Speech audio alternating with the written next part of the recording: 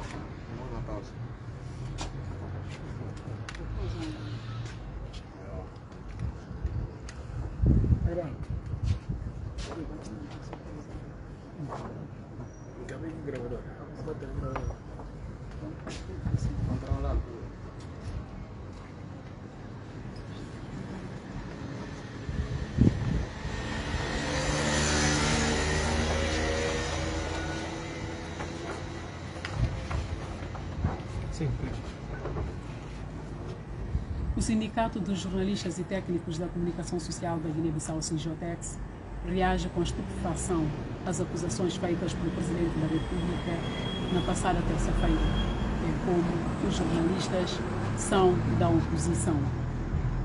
Esta mensagem ou esta acusação deveria sair de uma outra pessoa que não era, que não é o Presidente da República, como primeiro magistrado da nação, como garante da paz e da estabilidade. O Presidente da República tem vindo nos últimos tempos a atacar a imprensa. Sem motivos, ataca, contra-ataca.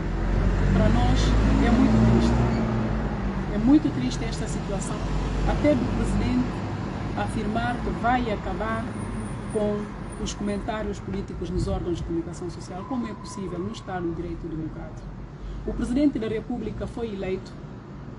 Antes de ser eleito, houve comentários à volta das candidaturas. Por que, que na altura não rejeitava uma ou outra, uh, um ou outro comentário à sua pessoa? Por que, que hoje está a tentar sarciar a liberdade de imprensa e de expressão? A ofender os jornalistas, a insultar os jornalistas. Por quê? Somos profissionais, somos chefes de família. O presidente exige que seja respeitado da mesma forma, nós também exigimos respeito. Somos humanos. Somos humanos. O presidente da República disse que os jornalistas têm que promover uma boa imagem da Guiné-Bissau. Afinal, quem é que promove a má imagem do país? Quem? Pergunto. Pergunto à sociedade guineense, quem é que tem promovido uma má imagem do país? Os jornalistas reproduzem os fatos que a sociedade, mesmo os políticos, produzem. Nós apenas reproduzimos. Várias informações nos foram dadas e reproduzimos. Quem nos disse no passado que iria alcatroar a estrada de Bafatá? Nós reproduzimos os fatos porque nos foi dito. Quem no passado recente disse que viria aviões com dólares para ajudar a Guiné-Bissau depois das eleições. É o Presidente da República. Nós reproduzimos. Quem mandou os jovens nadarem na poça d'água lá em Bafatá? São as autoridades. Nós reproduzimos, porque o nosso papel é de serviço público.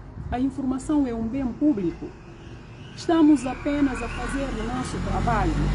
Pedimos ao Presidente da República que seja advogado da liberdade de imprensa e de expressão na Guiné-Bissau. Chega, isto não vai nos ajudar. Enquanto país, mesmo o Presidente da República, enquanto Presidente da República, estas acusações não vão lhe ajudar. Esta forma de relacionar com a imprensa não vai lhe ajudar. Citou os exemplos de Angola, Cabo Verde, Moçambique, e França 24, de que esses órgãos Uh, não fazem comentários. O Presidente da República ou está a fingir não saber ou não quer saber. Todos os dias assistimos. Hoje toda a gente tem informação nas suas mãos. Acompanhamos todos os dias. Todos os dias acompanhamos os órgãos de comunicação internacional. O que eles fazem, nós aqui não fazemos nem metade, nem um terço. Nem um terço. As notícias devem ser analisadas, devem ser comentadas. Isto ajuda a população a perceber o que é que devia perceber. Ajuda o país. Penso que o Presidente da República deve parar e pensar a sua forma de relacionar com a imprensa. Não somos inimigos, não. Não somos inimigos. Somos parceiros. Somos parceiros. São nossas fontes de informação. Nós somos reprodutores das informações que eles produzem. Que nos deixem em paz. Que nos deixem em paz. Só queremos fazer o nosso trabalho. Queremos servir melhor este país, que é nosso, Todos nós somos poucos para este país. Que nos deixem, que deixem a imprensa livre, que deixem a imprensa fazer o trabalho, que pare destas acusações. E mais grave, mais grave nesta história, o presidente ataca, insulta e as pessoas a baterem as palmas. É triste. Essas pessoas, para se colocarem nos nossos lugares, não é bonito. Estamos diariamente a produzir uma má imagem estamos a imputar esta responsabilidade aos órgãos de comunicação social. Apenas reproduzimos factos. Estamos a reproduzir factos. Aqui pedimos, encarecidamente, ao Presidente da República Portuguesa. Ouvimos sempre o Presidente da República, o Marcio Sissoko Embalo, a dizer que falou com o Presidente português. Que nos acudam, que acudam à comunicação social guineense. Queremos apenas fazer o nosso trabalho que o presidente português explique o nosso presidente como é que deve lidar com a imprensa. Para explicar como é que deve, que sensibilize o presidente para saber como lidar com a imprensa. Não somos inimigos. O presidente esteve lá na cerimônia. Acabou por não dar brilho à cerimônia da inauguração da, eh, da via. Acabou por não dar brilho. Em vez de cingir na cerimônia, ficou a atacar os profissionais da comunicação social acabou por tirar o brilho. Amílcar Cabral, o patrono da avenida, lutou pela liberdade de imprensa e de expressão, lutou pela liberdade de pensamento. Naquele dia, o presidente fez o contrário. Em vez de continuar na cena de Cabral, saiu. Saiu. Por quê? Por que, que o presidente faz isso uh, insistidamente com a imprensa? Por quê? Sem a imprensa, tudo o que o presidente faz fica dentro, dentro da presidência, ninguém sabe pode ter mil e uma uh, pessoas lá para fazer os diretos, essas pessoas não são jornalistas. Não têm técnicas de fazer informação tal como nós que temos essas ferramentas. Peço aqui ao Presidente que pare e repense. Não somos inimigos, somos parceiros. No caso da RTP, a RTP está aqui no país fruto de uma cooperação. Se ele não quer que a RTP continue no país, é simples que recorra aos meios diplomáticos para dizer a partir de hoje não quero RTP África na Guiné-Bissau. Ponto final. Em vez de estar a atacar os profissionais da, da RTP. Não pode ser. O presidente não está a ajudar a si. Não está. Está a cada dia a afundar estas eh, suas declarações perante a imprensa. Como é que o presidente pensa? Como é que o presidente pensa que pode ter que pode ter informações sem a imprensa, ou que pode fazer as suas mensagens chegar onde quer sem a imprensa. Há, há quatro anos corremos todo o território nacional. Corremos todo o território nacional para cobrir, para tirar. Naquela altura, os profissionais da comunicação eram importantes. Agora já não somos importantes. Que nos deixem trabalhar. Que nos deixem trabalhar em paz. Que queremos.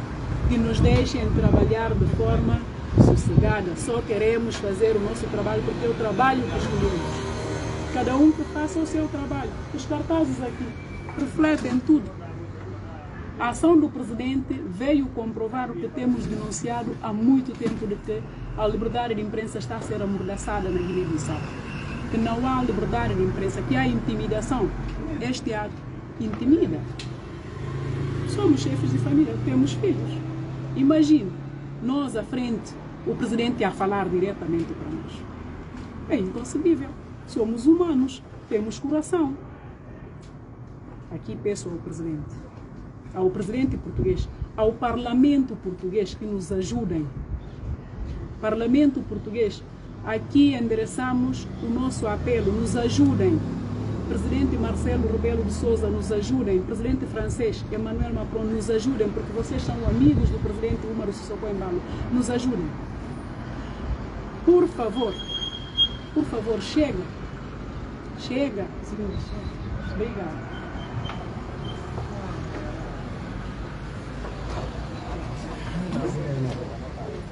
Presidente. Não, é assim. É. Vedi, è proprio Brasile. Ali dentro.